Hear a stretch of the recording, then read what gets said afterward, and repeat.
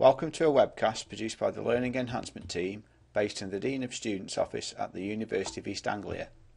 This webcast is part of the Steps into Numeracy series and concerns types of fractions.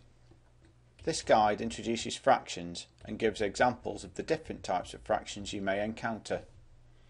Fractions represent the division of one whole number by another whole number. They are usually numbers which occur between whole numbers but they can also be used to represent the whole numbers themselves.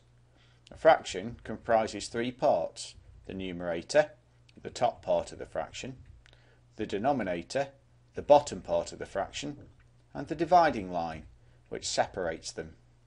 It is important to understand that the denominator of a fraction can never be zero. The fraction above is one half. You can see that the numerator is 1 and the denominator is 2.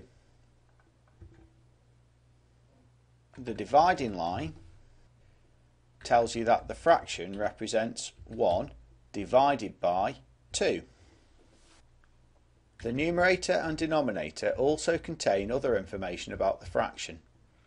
The denominator identifies the type of fraction being written. A denominator of 3 indicates thirds, 4 indicates quarters, 5 indicates fifths, and so on.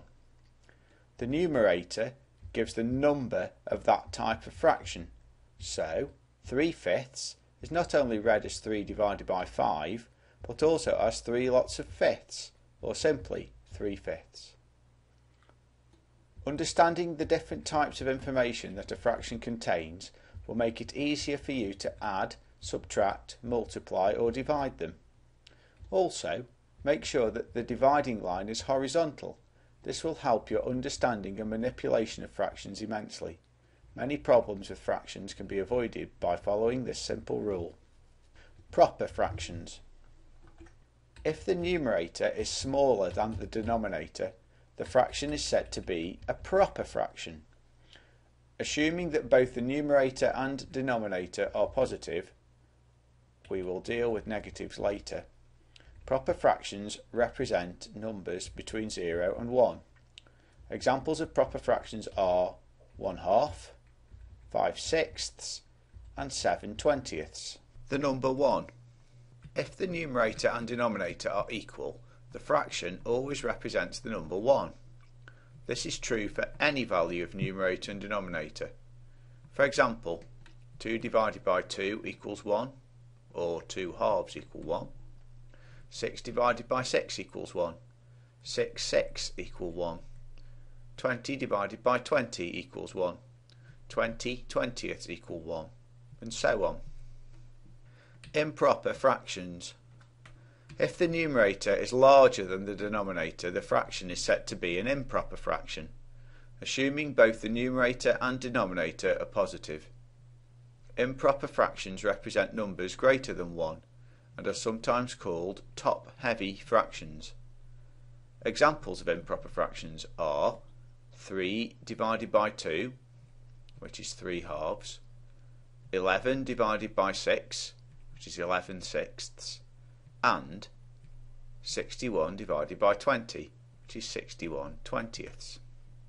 Mixed fractions.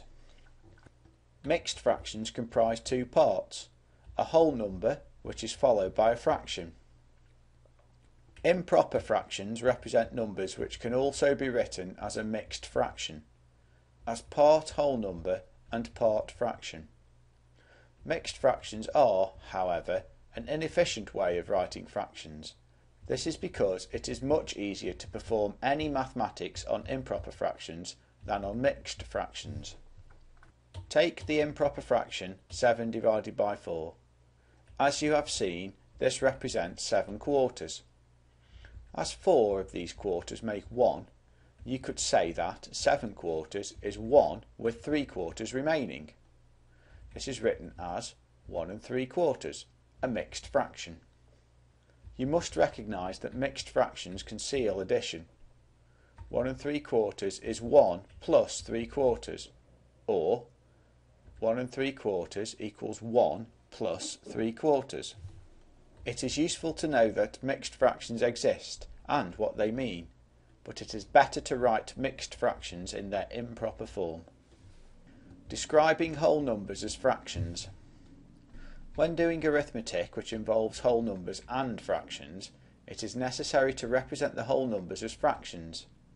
Any whole number can be written as a fraction because any number divided by 1 remains itself. Writing a whole number as a fraction then becomes easy. You simply divide it by 1, representing this division by the dividing line. For example, 3 equals 3 divided by 1, which is a fraction. 5 equals 5 divided by 1, and so on. Equivalent fractions. If you multiply the numerator and denominator of a fraction by the same non-zero number, you produce a fraction which looks different but has exactly the same value. For example, take one third. If you multiply the numerator and the denominator by 2, you get 2 sixths. As 1 multiplied by 2 equals 2, which is the new numerator, and 3 multiplied by 2 equals 6, which is the new denominator. Here, one third and two sixths are known as equivalent fractions. They have exactly the same value, but are expressed differently. In order to be able to add and subtract fractions, understanding equivalent fractions is essential. See the study guide, addition and subtraction of fractions. Negative signs and fractions. If either the numerator or denominator in a fraction is a negative number, then the fraction represents a number less than zero. The fraction itself can be thought of as negative. In these situations it can be confusing to know where to write the negative sign. Mathematical convention is that a negative fraction should have the negative sign before the fraction, placed level with the dividing line. For example, minus 2 over 3 is equivalent to 2 over minus 3 and should be written as minus 2 over 3 to avoid confusion. If both the numerator and denominator are negative, then the negative signs negate each other, which results in a positive fraction. For example, minus 2 divided by minus 3 is equivalent to 2 divided by 3. Proper and improper negative fractions. A proper negative fraction has a value between minus 1 and 0, such as minus a half, minus 5 sixths, and minus 7 twentieths. An improper negative fraction has a value of less than minus 1, such as minus 3 over 2, minus 11 over 6, and minus 61 over 20.